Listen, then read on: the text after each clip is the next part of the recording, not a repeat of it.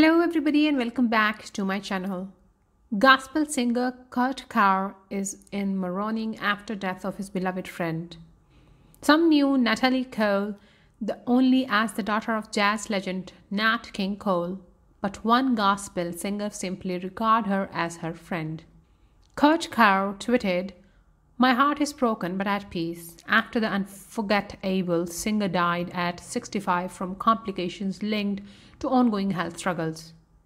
She was such a beautiful person inside and out, said Carr, who once performed his hit song, I Almost Let Go. With Cole on Trinity Broadcasting Network's flagship program, Praise the Lord. During that appearance, Cole, a nine time Grammy winner whose unforgettable, the Love album went multi platinum, admitted she had once contemplated suicide. But something spoke to me and said, just hold on a little bit longer. Continuing to share her testimony, Cole said she found strength while living with Annette in Chicago back in the early 70s.